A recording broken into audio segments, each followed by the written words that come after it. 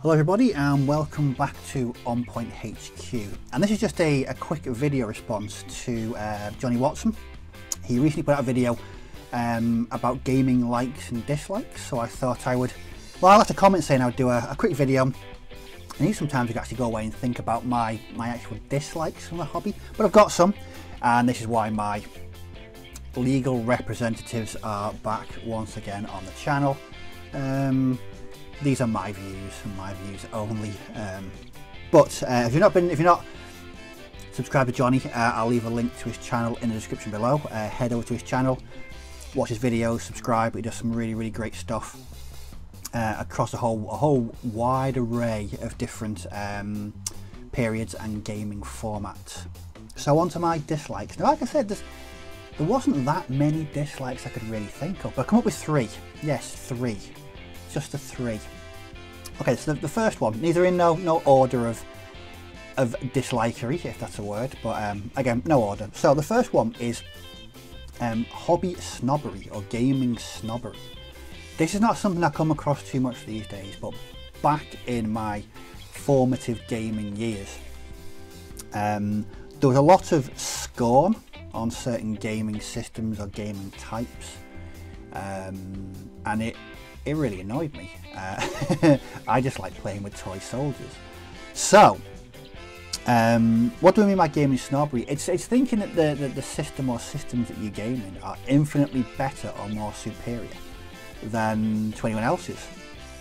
And to that I say hooey, absolutely not in the slightest.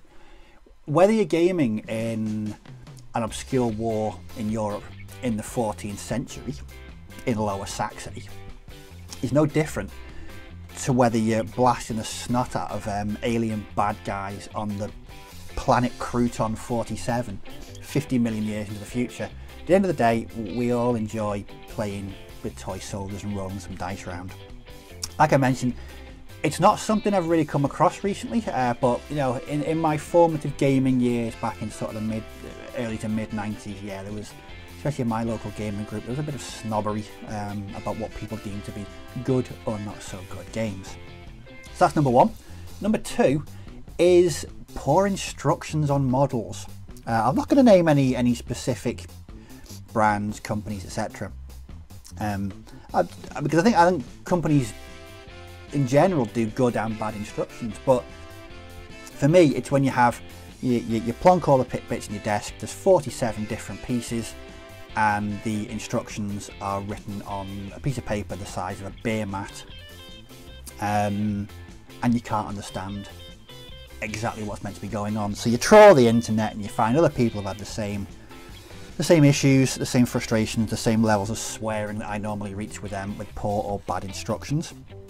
Um, so it's I, I mean thankfully it's not commonplace. I mean years ago yeah yeah really really bad. The, the companies are getting a lot lot better and their instructions are a lot more um, straightforward and accurate. Um, but it's you still get the occasional kit where you think, yeah, what am I doing with this? I might just give up. Um, so that's my number two, would be um, poor instructions. The third and last one is poor quality control. Thankfully, again, as, as we, we, we progress in the hobby, um, things are getting better, but um, yeah, sometimes you'll you'll, you'll get a, a, a, box or an individual piece or a squad and you just think how on earth has that been sold to a member of the public? Um, I mean I understand that companies can't quality control 100% of their output um, but sometimes you do ask yourself how on earth did this did this make it out into the general public? Or how was how was it allowed to be to be added to a box? Um, the one that always springs to mind for me is again I'm not mentioning names quite a well-known well a very very large company that I bought something from uh, in 2013 uh, sat down to paint them um, and out of 10 figures there was something wrong with pretty much every single one of them.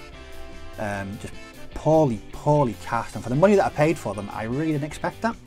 Um, so I had replacements sent uh, to be fair they weren't they weren't much copy either but I imagine the company has, has improved uh, in the past seven years. But it's, it's sometimes you just think, how on earth, how on earth has this been allowed? But they are my three. So hobby snobbery, poor instructions and poor quality control. So what are my likes? Um, I love everything about the hobby. Hopefully this comes across in, in my videos that I, I, I get so much from this hobby, whether it's painting, whether it's converting, kit bashing, watching videos. Um, I just take so much from it and it's it's a pleasure that it's such a great community to to be part of. Um, it's there's very very very little in the way of toxicity, um, but I think for me the the one thing that I, I love above all is painting and modelling. That that's that's my main thing the hobby, especially kit bashing. Um, you may have seen that once or twice uh, on the channel that I do like the occasional kit bash. Um, so if you're into kit bashing, yeah, there's, there's, one or two videos in the back catalogue, lads. Right, um, that is my um, my my likes and dislikes. Um, yeah, just keeping it keeping it very very brief there. Six minutes. I didn't realise the video would be on for six minutes. Right, I'm going to wrap this up. So, um, don't forget, head across to Jonny's channel. I'll pop a link to his channel in the description below.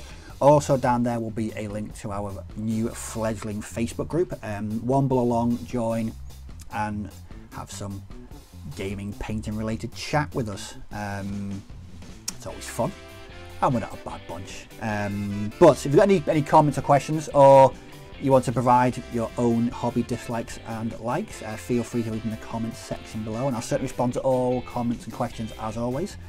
But thanks for watching, uh, do take care Your dice roll well, and I'll catch you all in the next video. So, bye bye.